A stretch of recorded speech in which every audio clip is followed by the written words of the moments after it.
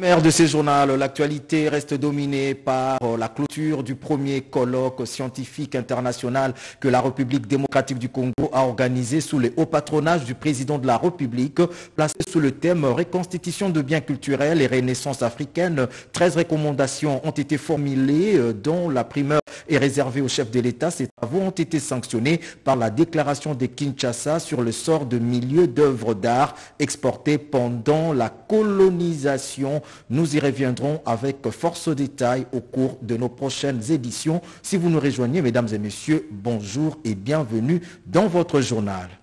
Nous ouvrons ce journal par la nomination des nouveaux animateurs de certaines entreprises publiques, particulièrement dans le régie financière, notamment à la DGDA, la DGI, la DGRA, la GECAMINE et le Fonds minier pour les générations futures. Euh, c'est le porte-parole du chef de l'État qui a procédé à la lecture de cette ordonnance signée par le président de la République. L'ordonnance numéro 20 048 du 8 juin 2020 portant nomination d'un directeur général et de deux directeurs généraux adjoints de la Direction générale des impôts en sigle DGI, article 1er est nommé directeur général adjoint en charge des questions techniques, M. Kaboua Kaluma Henri Maurice. Ordonnance numéro 21092 portant nomination d'un directeur général et de deux directeurs généraux adjoints d'un service public dénommé Direction générale des douanes et accises en sigle DGDA. Article 1er. Est nommé directeur général Madame Kawanda Waluom Jeanne Blandine. Article 2. Sont nommés directeurs généraux adjoints. 1. Monsieur KBC Moussangu Bernard, directeur général adjoint en charge des questions techniques. 2. M. Baouna Mabolia Jean-Louis, directeur général adjoint en charge des questions financières et administratives.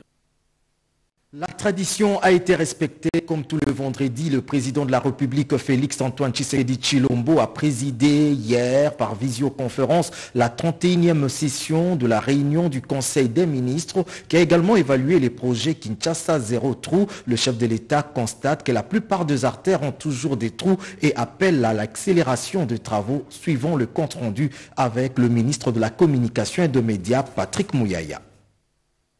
Troisième point de la communication du président de la République, relatif à la mise en œuvre du projet Kinshasa Zéro Trou. Le projet Kinshasa Zéro Trou, qui a l'ambition d'effectuer des travaux de réhabilitation des axes secondaires de la voirie de Kinshasa sur un linéaire total de 85 km, reparti dans le quatre districts de la ville afin de fluidifier la circulation urbaine ce projet a été lancé le 14 octobre dernier pour une durée de six mois. Le président de la République a fait part au Conseil du constat observé sur la plupart des artères de la ville-province de Kinshasa. Ces dernières présentent encore de trous, donnant ainsi l'impression que rien de consistant n'était encore fait.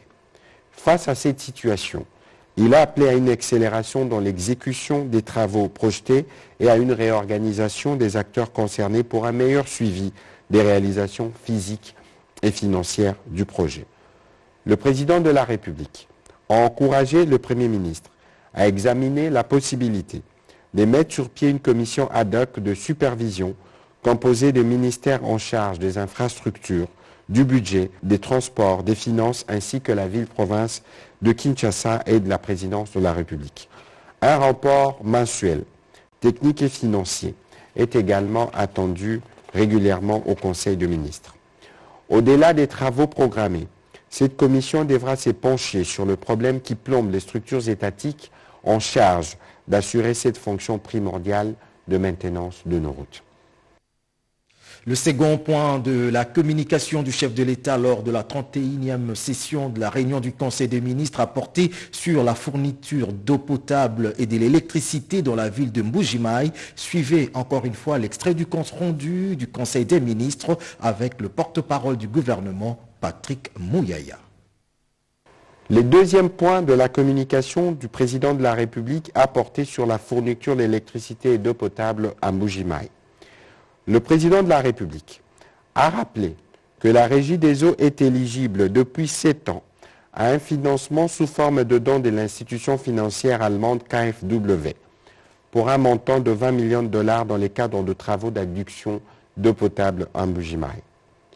Depuis toutes ces années, la KfW conditionne les lancements de travaux visant la production d'électricité de la centrale hydroélectrique de Chiala 2 à 8 MW à la mise à disposition par l'État congolais au profit de la Société nationale d'électricité SNEL d'une partie de la concession où sont installées actuellement les centrales hydroélectriques Chala 1, Lubilangi 1 et 2 et propriété de l'AMIBA. Considérant les risques qu'encourt le pays de perdre ses financements, aussi bien pour la province du Kassai oriental que pour l'AMIBA, qui bénéficiera d'une partie de cette énergie nécessaire pour la relance de ses activités, le président de la République a demandé au ministre du portefeuille, celui des ressources hydrauliques et électricité, ainsi que celui des affaires foncières, de faciliter l'attribution par le gouverneur de la province du Kassai oriental à la SNEL et au nom de l'État congolais, la concession de production des Chiala 2 pour la réalisation de cet ambitieux projet. Ceci conformément aux dispositions de l'article 47 de la loi numéro 14-011 du 17 juin 2014 régissant les secteurs de l'électricité. La reddition des comptes 2020 et la loi des finances rectificatives exercice 2021 euh, sont là, les deux projets de loi qui ont été adoptés hier à la Chambre basse du Parlement. Le texte est renvoyé au Sénat pour seconde lecture. D'autres précisions dans ce reportage signé Sylvie Mouembo et Bernard Baudot. 12 articles pour la loi des finances rectificatives exercice 2021 et 20 articles pour celle de la reddition des comptes 2020. Sous la conduite du président de l'Assemblée nationale, Christophe Bosoko Diapwanga, les représentants du peuple ont engrené article par article pour aboutir à un vote unanime de 333 députés nationaux sur 335 présents, avec au finish des abstentions seulement. Le texte a été par la suite renvoyé au Sénat pour une seconde lecture. Après dix jours de travaux sur le projet de loi portant reddition des comptes 2020 ainsi que le projet de loi des finances rectificatives exercice 2021, le membre de la commission économique, financière et contrôle budgétaire ont présenté le rapport final devant l'Assemblée plénière de la Chambre basse du Parlement. Selon la synthèse de ces deux projets de loi faite par le rapporteur de la commission, il s'observe pour la reddition des comptes 2020 un manque d'orthodoxie budgétaire observé au niveau du gouvernement pour le projet de loi des finances rectificatives exercice 2021, quelques recommandations ont été faites par la commission ECOFIN. Il s'agit notamment d'exécuter correctement la loi des finances rectificatives pour l'exercice 2021, renforcer le mécanisme de lutte contre la fraude douanière, fiscale et administrative, entre autres. Quant à l'exposé des motifs de la reddition des comptes 2020 en termes de résultats, le budget général accuse un solde déficitaire de 1 milliard 142,57 millions de francs congolais. Il en résulte un solde cumulé déficitaire du budget du pouvoir central d'un montant de francs congolais 1 milliard 034,80 millions de francs congolais. À Belgrade, où il séjourne depuis quelques jours, le vice-premier ministre, ministre de l'Intérieur, euh, a visité les installations de l'unité spéciale de la police. Il y a de quoi s'inspirer pour la promotion de bonnes pratiques au sein de la police nationale congolaise. Des scénarios très proches de la réalité ont été mis en scène pour y montrer la capacité de la police serbe. Commentaire José Baïtombo. Une exercice de simulation très proche de la réalité, assaut, arrestation et encadrement lors de manifestations troubles, démonstration de la police de Belgrade chargée d'intervenir en cas de manifestations publiques occasionnant des violences graves ou traite des voleurs à main armée en présence du vice-premier ministre, ministre de l'Intérieur et Sécurité. Daniel Aselokito Akoy a aussi visité la brigade de la cavalerie, la brigade canine, mais aussi l'arsenal dont dispose l'unité spéciale de la police serbe. Ces derniers a affiché clairement un intérêt particulier dans les partages d'expériences entre la police de la Serbie et celle de la République démocratique du Congo. Vous savez, nous avons une police nationale congolaise bien formée qui nécessite un complément d'expérience. Et je pense que ce que nous venons de voir ici, c'est à quoi nous avons assisté tout à l'heure, les exercices produits par cette unité spéciale de protection de la ville de Belgrade. On sollicite cette police pour qu'elle soit à côté de la nôtre pour la formation la transmission de l'expérience ou de l'expertise. L'unité spéciale de la police serbe, c'est plusieurs années d'expérience dans la protection de personnes et leurs biens. Et la République démocratique du Congo peut tirer deux éléments pour plus d'efficacité. Il y a de quoi s'inspirer pour la promotion de bonnes pratiques au sein de la police nationale congolaise. La redynamisation de l'industrie militaire, la réforme en cours des FRDC, l'évolution de l'état de siège, autant des sujets abordés au cours de l'audience que le ministre de la Défense nationale a accordé à l'ambassadeur de France accrédité en RDC. L'entrevue a eu lieu à Goma. Hasard des calendriers oblige a fait que les deux personnalités se retrouvent dans la province du Nord Kivu. Regardez.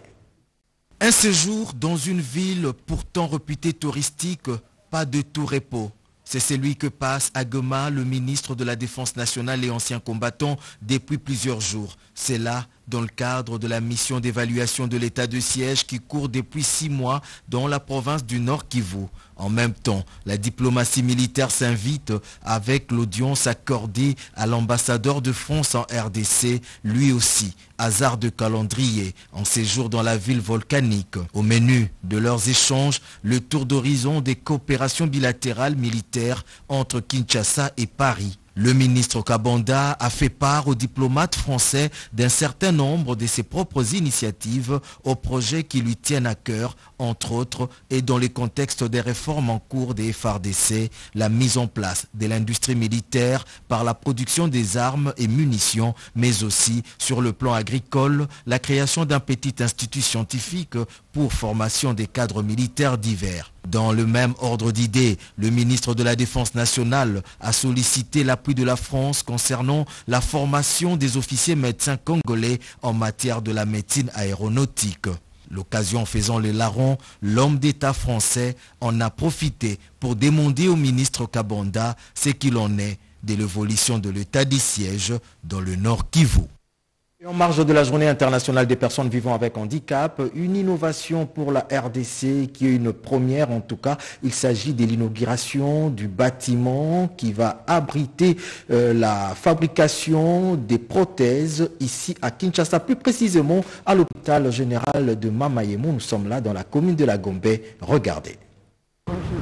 L'hôpital général de référence de Kinshasa ex-Mamayemo vient de bénéficier d'un bâtiment nouveau inauguré ce vendredi 3 décembre 2021. Ce bâtiment abrite le département de réadaptation fonctionnelle avec pour objectif de fournir des services de réadaptation physique aux personnes en situation de handicap. Les travaux de construction de ce centre moderne ont été assurés par le comité international de la Croix-Rouge en collaboration avec les autorités congolaises.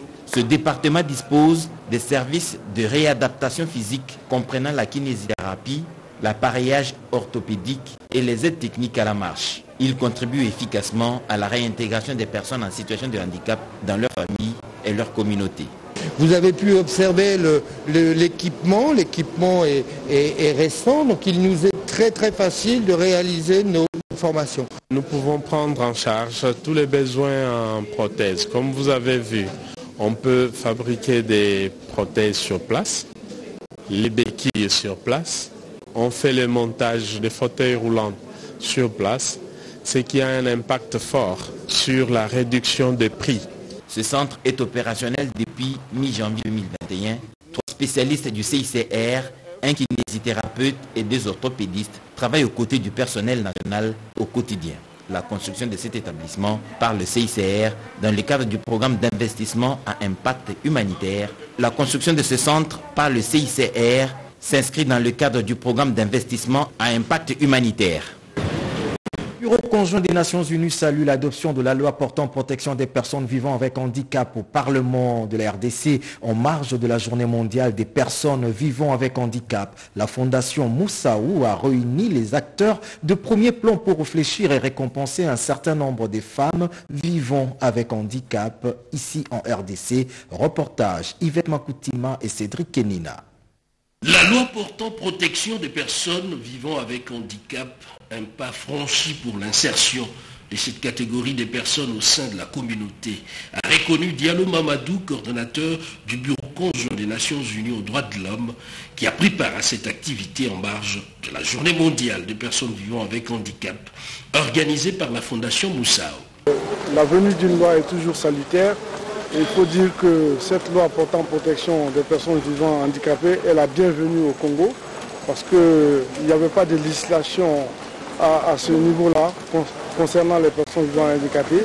Donc nous sommes très heureux d'accueillir cette loi qui va protéger et qui va prendre en compte les droits des personnes vivant avec handicap. Je dirais que la journée euh, mondiale des personnes vivant avec handicap, c'est une journée que nous la célébrons chaque année. Et cette fois-ci, ça a été spécial. Spécial pour nous parce que nous avons vu quand même un apport considérable de, la MONUSCO, parce que chaque fois, depuis 2001, la Fondation est née, on n'a jamais eu cet accompagnement. Je crois que ça nous motive, ça nous donne encore la force de faire mieux dans les jours à venir. Non à la discrimination de cette catégorie de personnes. Les mots, du moins la phrase, puisent toute sa sève dans l'attitude des uns et des autres, du regard porté sur semblables, maillon essentiel de notre société.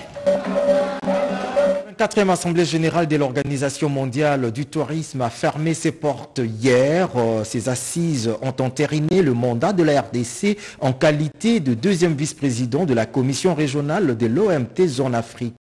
Plusieurs questions liées à la promotion du tourisme à travers le monde ont été évoquées par les participants. Commentaire Bobo Samba.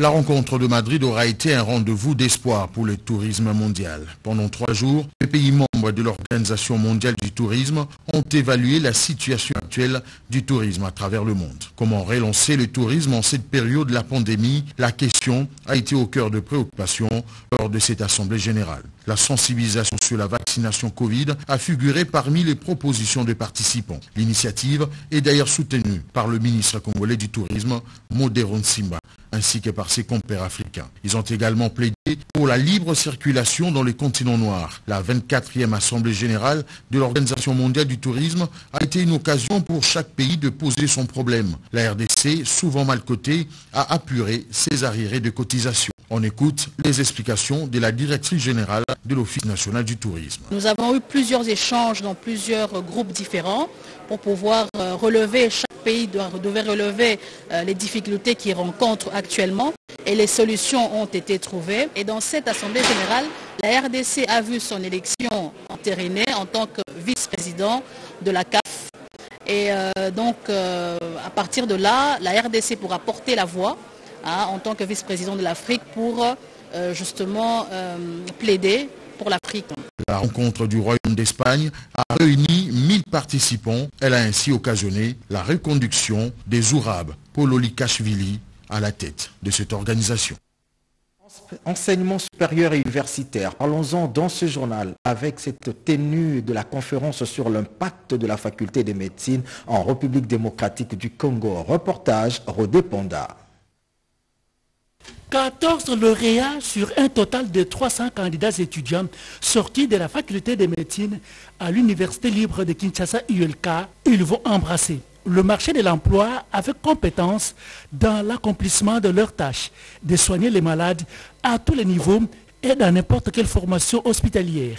Ces 14 premiers lauréats devenus médecins et honorés en séjour par les autorités de l'ULK la résultante de la rigueur dans la formation assurée à la faculté de médecine à l'ULK, suivant le programme édicté par le ministère de l'enseignement supérieur et universitaire, appuyé avec différents stages dans les grands hôpitaux de la capitale, hôpital général de référence de Kinshasa ex-Mamayemo, pour ne citer que ça, puis évalué selon les normes. Le doyen de la faculté de médecine, Mathieu Locoso, a salué les efforts et sacrifices consentis par les heureux promus pour aboutir à un couronnement honorifique avec des titres académiques compétitifs tout en les encourageant à défendre sur le terrain la science apprise à l'ULK dans l'exercice de la profession suivant l'éthique et la déontologie médicale, car la science est universelle.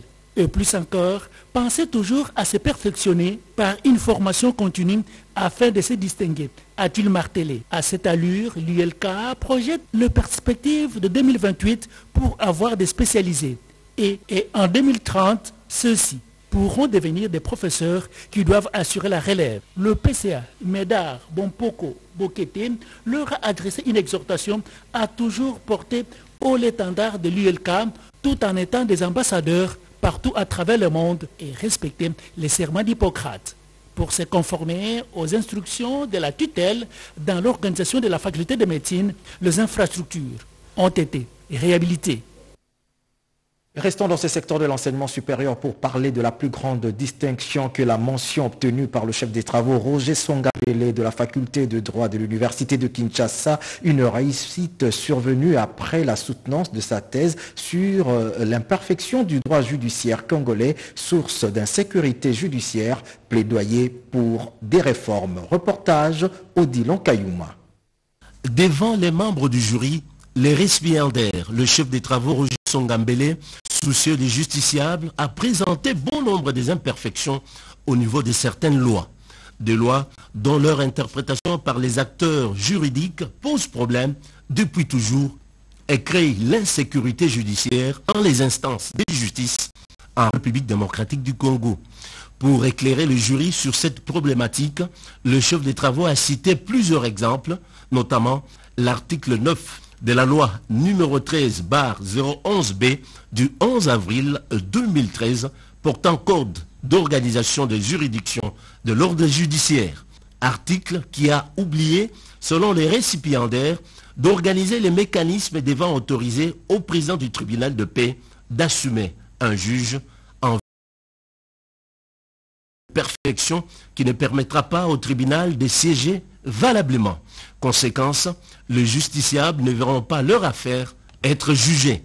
Pour éviter à l'avenir l'insécurité judiciaire, tant décriée, le chef des travaux Roger Songambele préconise à travers sa thèse des réformes, histoire, selon lui, de permettre au tribunal de grande instance de compléter le siège en assumant en qualité de siège, c'est-à-dire assumer soit un avocat après avoir rencontré les préoccupations soulevées par le membre du jury, ce dernier, à huis clos, a délibéré sur la soutenance de la thèse par le chef des travaux Roger Songambele et la proclamation du résultat a suivi. En vue de l'obtention du grade du docteur en droit, le jury a pris la décision suivante.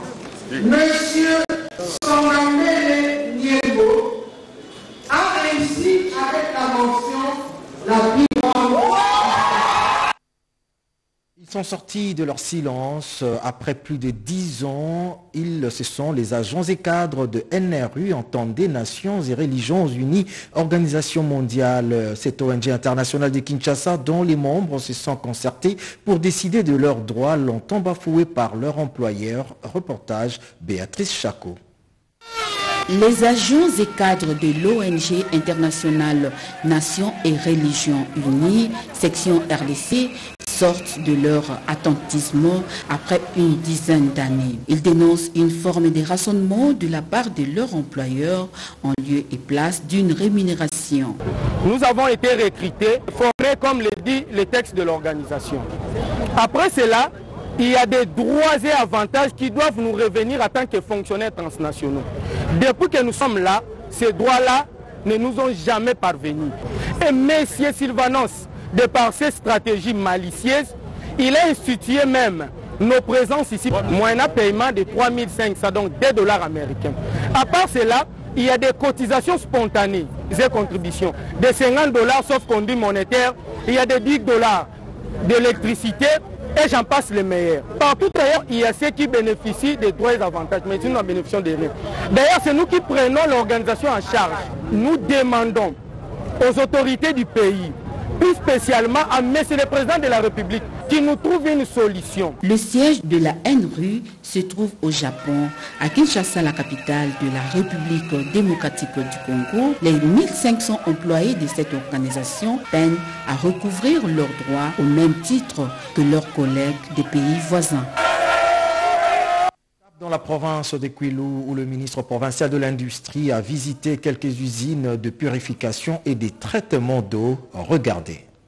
Conformément au quatrième objectif de gouvernance du gouvernement Itundala, axé sur la promotion du développement du secteur industriel, le commissaire général ayant l'environnement et le développement durable dans ses attributions, Eric Mondondi, a effectué une descente à l'usine de traitement d'eau minérale érigée au port CEP à Bandundu.